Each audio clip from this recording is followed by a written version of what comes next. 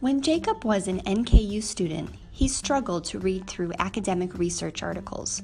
The information is presented in such a way that it can be difficult to comprehend without proper background knowledge. Jacob would struggle over charts and graphs, the terminology, and sometimes had a hard time identifying the purpose of the article. That's why he's here now, to help you become a more critical reader of sociology research. First, Jacob recommends always reading the abstract first. A good abstract will highlight the research question posed in the study, the methods used, and the results. While the abstract alone will not provide enough information to critique the work, it does help you get a sense of whether or not the information presented aligns with your research needs, and whether or not research is even being presented.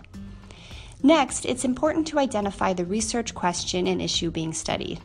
This may be presented in the abstract, but will be more detailed within the actual article itself. Further, in the initial portion of the article, the authors will often report what is called a gap in the literature, a question that has not been examined and is worth further study. The literature review will go on to highlight studies and theories that are relevant to the current study, but will also add further support to the gap that exists. Whether the research is quantitative or qualitative, the author should always explain how they went about the study. This is the methods section, here we find out if the authors used surveys, interviews, observations, or any other research methods. We also should learn about any sizes of the sample.